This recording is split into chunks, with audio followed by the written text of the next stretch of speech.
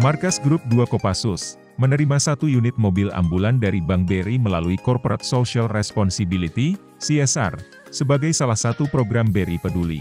Cara yang dilaksanakan di Markas Grup 2 Kopassus yang dihadiri oleh Komandan Grup 2 Kopassus Kolonel Infantri Sabdono Budi Wiryanto, Wadan Grup 2 Kopassus Letkol Infantri Wahyu Yuniartoto, beserta jajaran Komandan Satuan dan seluruh prajurit, PNS Grup 2 Kopassus. Dari pihak BRI Bapak Fulsun Rahmatullah, Kepala Pimpinan Cabang BRI Kartasura didampingi oleh rombongan staf Bank BRI.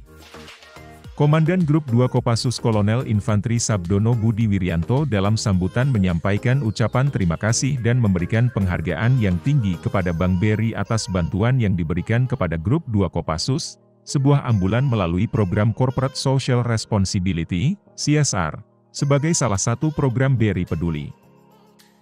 Kami dari BRI dapat membantu mensupport uh, Grup 2 Kopassus pada khususnya yang mana pada saat ini di depan kita lihat semua sudah ada satu unit ambulan uh, yang merupakan CSR dari BRI kepada khususnya grup 2 Kopassus. BRI masih bisa mensupport uh, khususnya grup 2 Kopassus yaitu satu unit ambulan. Mudah-mudahan uh, dengan adanya CSR ambulan ini dapat terus meningkatkan kerjasama antara grup 2 Kopassus dengan BRI Solo Kartosuro. Kami akan selalu mendukung, selalu berupaya memberikan yang terbaik dan kami juga ucapkan terima kasih atas dukungan komandan dan para komandan satuan eh, atas supportnya kepada BRI sehingga kami bisa memberikan eh, tahun ini satu unit ambulan untuk grup 2 Kopassus. Terima kasih. Terhormat dan saya banggakan dari BRI. Tepuk tangan dulu.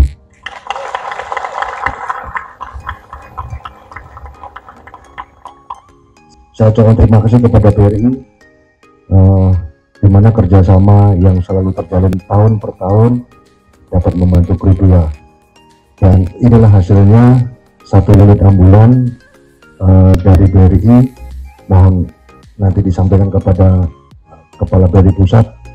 Ucapan terima kasih dari kami mewakili anggota grup 2 yang kedua puji syukur bahwasanya kita sekarang berlatih memiliki satu unit yang bergerak terus menerus selain dengan satu unit militer minimal ada putih-putihnya.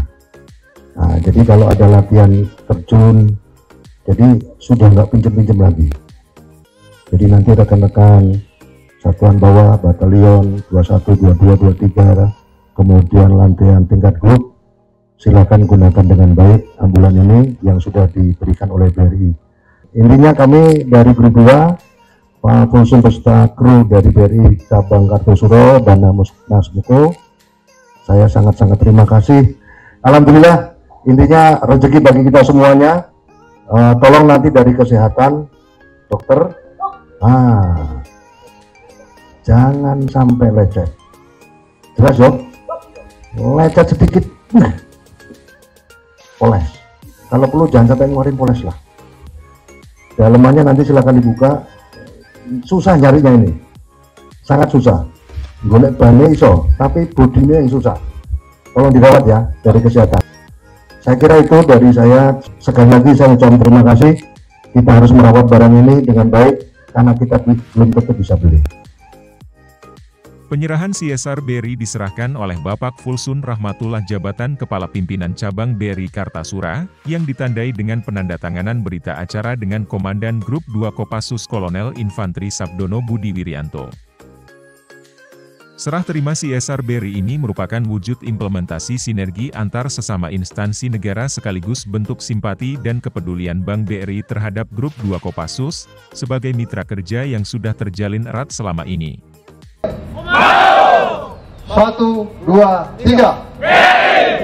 Adanya CSR satu unit mobil ambulan bantuan BRI, tentunya akan sangat bermanfaat dalam mendukung kegiatan latihan grup 2 Kopassus yang dilaksanakan di daerah latihan yang jauh dari fasilitas kesehatan seperti rumah sakit, balai kesehatan ataupun puskesmas.